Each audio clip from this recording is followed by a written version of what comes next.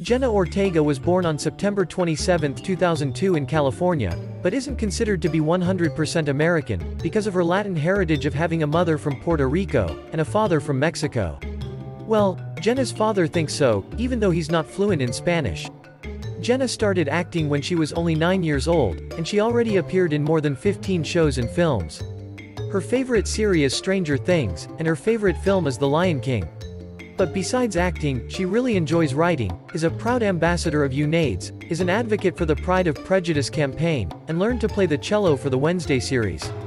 When it comes to food, she really likes a trail mix, and she was vegetarian until filming Wednesday in Romania.